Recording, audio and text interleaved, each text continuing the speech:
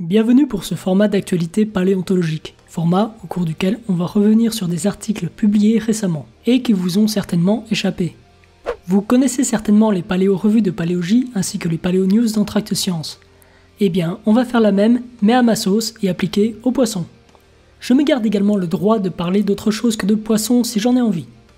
Commençons près de chez nous en faisant un tour du côté de l'Espagne, avec cet article publié le 1er février 2020.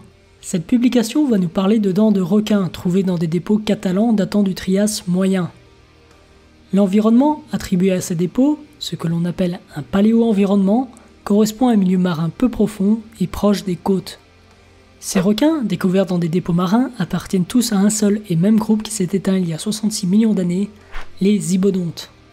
Et oui, nous sommes au Trias, les faunes de requins marines ne sont pas encore dominées par nos chers requins et raies modernes, mais bien par ce groupe qui, à ce moment-là, en quelque sorte est au sommet de sa gloire. En même temps, il ne pouvait pas l'être avant, entre les placodermes du Dévonien, les chimères du Carbonifère permien, il n'y avait pas la place d'être au sommet. Pour vous donner le contexte global du Trias, nous assistons à la fin de la Pangée, que l'on commence à bien morceler en plein de petits morceaux, ce que l'on appelle la phase d'océanisation. C'est pendant le Trias moyen que commence à se mettre en place une mer épicontinentale, pour vous simplifier la chose, dites-vous que l'Europe commence à ressembler aux Caraïbes, avec une mer vaste, peu profonde, avec des îles un peu partout. C'est dans ce contexte que nos requins vont nous intéresser et entrer en jeu. Ici, nos requins ont été échantillonnés à trois endroits différents le long de la côte catalane, non seulement pour avoir assez de spécimens, mais également pour pouvoir comparer nos trois localités entre elles, qui non seulement ont des étendues temporelles différentes, mais également des paléo-environnements un peu différents. Parmi nos ibodontes catalans, on retrouve le fameux genre Ibodus, mais également plusieurs autres genres assez communs chez les ibodontes à l'époque, comme Omanocelac, Isodus et Paléobates. Cet article nous montre également une évolution de la diversité assez intéressante, qui va devenir plus importante à la fin du Trias moyen chez nos requins, avec un maximum de 7 espèces différentes qui se côtoient. Ce qui est intéressant avec nos requins est que la plus grande partie d'entre eux ont une dentition que l'on peut qualifier de durophage, qui va se servir à se nourrir d'organismes coquillés. Et ce que nous dit l'article à ce sujet est assez intéressant? À la fin du Trias moyen, les faunes d'invertébrés du bassin subissent un important turnover. On observe une migration importante de faune qui est très marquée de la région alpine germanique chez nos faunes ici de Catalogne. Comment est-ce possible? Eh bien, c'est assez simple. Comme je l'ai dit plus tôt, nous sommes au Trias en pleine phase d'océanisation et la mer gagne du terrain en Espagne. Une connexion est alors créée entre la partie germanique et la péninsule ibérique, qui passe alors en bonne partie sous les eaux. Cette connexion va alors entraîner la migration de faune d'invertébrés vers la Catalogne. Si les proies migrent, eh bien les prédateurs suivent la valse. Pas ce type de valse. Par cette migration, des proies associées avec cette mer peu profonde, nous avons donc une forte diversité de proies, et donc de prédateurs expliquant ainsi notre grande diversité et ce grand nombre de prédateurs chez nos amis sélaciens. Allons faire un tour à présent en Amérique du Sud, plus précisément en Patagonie. La Patagonie, c'est la pointe sud de l'Amérique du Sud, comprenant l'Argentine et le Chili. Et la Patagonie, je pense que vous en avez entendu parler au cours des dernières années, notamment à cause de lui, lui ou encore lui. Les fossiles qui nous intéressent proviennent de la partie argentine, dans la province de Chubut, si cette province vous dit quelque chose, c'est normal. Le requin Otodus chubutensis provient de là. Mais nous ne sommes pas là pour parler de requins ni de la famille de ce requin, dont on reparlera à l'avenir. Non, aujourd'hui nous sommes ici pour parler de poissons osseux. Et plus précisément d'un groupe de poissons osseux, que les Anglais appellent les poissons bulldog, les ichthyodectiformes. Et rien qu'à leur tête, vous comprenez d'où vient leur nom. Ces gueules d'amour ont vécu du Jurassique jusqu'à leur extinction au cours du Crétacé supérieur, dû à la crise Crétacé-Paléogène. Nous allons ici nous intéresser à un spécimen bien particulier, bien connu des paléoartistes et des joueurs de arc, Xifactinus. Ce poisson est très bien documenté dans des dépôts de l'hémisphère nord, notamment d'Amérique du Nord, d'Europe, d'Asie, bref, un peu partout. Même son étendue stratigraphique est pas mal, ce genre a évolué pendant tout le Crétacé supérieur, soit environ 60 millions d'années au total. Revenons-en à l'article si vous le voulez bien. Si vous avez bien suivi, vous avez donc deviné que Xifactinus a été découvert dans ces dépôts patagoniens. Le genre y est représenté par une maxillaire, ainsi que par une vertèbre abdominale. On peut se dire que c'est pas grand-chose, mais lorsque l'on voit que l'échelle pour la mâchoire est de 5 cm, on peut commencer à imaginer la taille du bestiau. Et oui, ce petit bout de mâchoire a une longueur maximale de 14,6 cm pour 1,8 cm de largeur. Cette mâchoire, comme vous pouvez le voir, possède encore implanté en elle des dents, ce qui n'est pas souvent le cas et qui est toujours intéressant à noter. Connaître l'agencement des dents est toujours une information utile, car comme ici, cela va permettre d'identifier plus sereinement les fossiles. Certaines caractéristiques de la vertèbre ont également permis d'être sûr qu'il s'agissait bien de Xifactinus, notamment la présence de crêtes sur le centre vertical. On va pas rentrer plus dans les détails, ce serait trop technique. Et... On n'a pas le temps Cet article est intéressant car il nous montre deux choses. La première est que ce fossile a été exhumé en avril 1946, avant d'être étudié et publié en mars 2020, soit 74 ans plus tard. Cela nous montre bien que, dans les collections de fossiles, il y a toujours des spécimens intéressants qui attendent bien sagement d'être étudiés. Et j'en sais quelque chose. La seconde concerne un point important abordé par l'article, la paléobiogéographie de l'animal. Sous ce mot compliqué se cache un concept plutôt simple, et en même temps un peu compliqué quand même. La répartition spatiale et temporelle d'un taxon.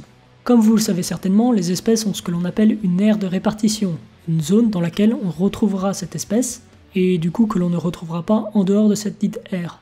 Eh bien, cette aire de répartition peut bouger dans le temps, et ce pour des raisons diverses et variées, comme la colonisation d'un nouveau territoire, au contraire une perte de territoire car les faunes se cassent la tronche de manière naturelle, ou bien avec un petit coup de patte de l'homme, et je passe divers facteurs. Mais un autre facteur qui nous intéresse ici est tout simplement la découverte.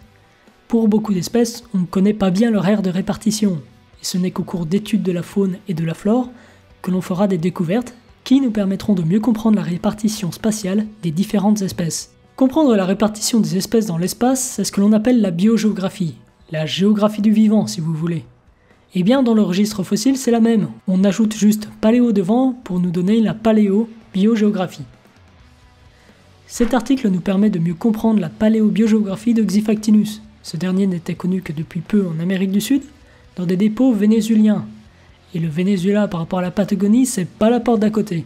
Découvrir cette espèce en Patagonie élargit grandement l'aire de répartition de ce poisson.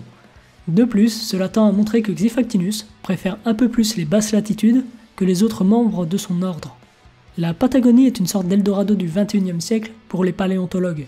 Il y a énormément d'études en cours sur les faunes et la flore issues de ces dépôts, allant de dépôts de forêts fossiles à celles de dépôts marins.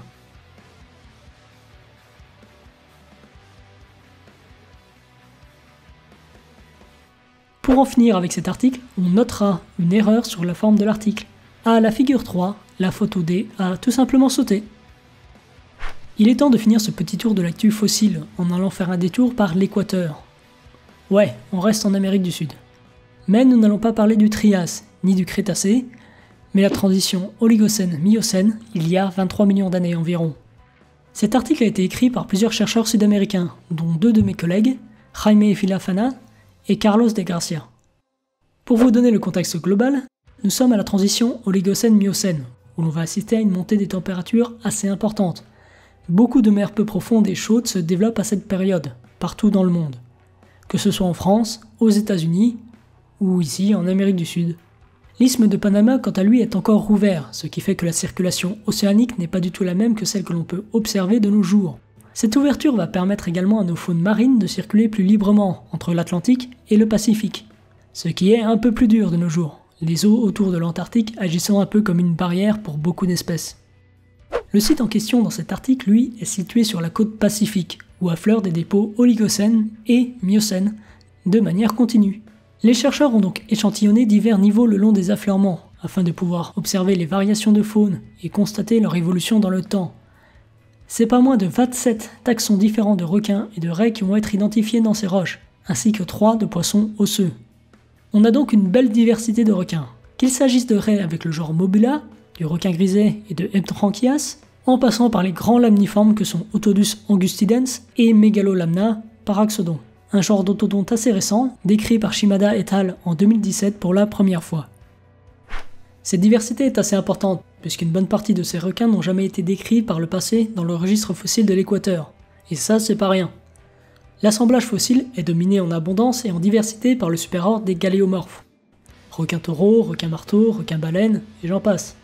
Les auteurs de l'article ont pu, grâce à cet assemblage phonique, déterminer la profondeur du bassin lors de la transition Oligocène-Miocène. Celle-ci est estimée entre 100 et 200 mètres de profondeur. Comment ont-ils pu le savoir? Eh bien, pour répondre à cette question, ils ont utilisé deux techniques différentes. La première consiste tout simplement à regarder la diversité de nos taxons, couplés à leur profondeur bathymétrique associée. Pour cela, on regarde la profondeur bathymétrique associée à nos genres actuels, et pour ceux dans le fossile, celle qui est estimée. On sait que les grands lamniformes ne sont pas des espèces côtières, ils préfèrent évoluer au large, là où les proies sont plus grandes en nombre et en taille. Et ces grands lamniformes sont les plus nombreux, ce qui tend à nous montrer que nous sommes dans un milieu avec une profondeur assez élevée. La présence d'espèces évoluant dans des profondeurs moins importantes et plus proches des côtes va quant à elle nous aider à contrebalancer cela, pour obtenir une profondeur moyenne comprise entre 100 et 200 mètres. La seconde méthode va faire un peu la même mais en prenant plus en compte l'abondance de nos taxons et on obtient ainsi une profondeur comprise entre 87,8 et 378 mètres de profondeur. Dans les deux cas, cela tend à nous montrer que l'environnement correspond à la fin du plateau continental, où l'eau est entre guillemets encore peu profonde. Voilà qui finit ce tour rapide de l'actualité paléontologique liée aux poissons. D'autres épisodes arriveront bien sûr à l'avenir, mais de manière un peu irrégulière. Cela dépendra bien évidemment de l'actualité. Il y a eu d'autres articles très intéressants qui ont parlé de paléoïtiologie, que ce soit sur un éventuel placoderme filtreur, un autre papier publié par un de mes collègues que j'ai cité ici, qui parle de la première nurserie de Grand Blanc dans le registre fossile, mais ça, on vous garde ça pour plus tard. En attendant, n'hésitez pas à vous abonner et à activer la cloche, N'hésitez pas à partager et à liker la vidéo. C'était Style et Sharky. On se retrouve bientôt pour un épisode totalement différent. À une prochaine et portez-vous bien. Ciao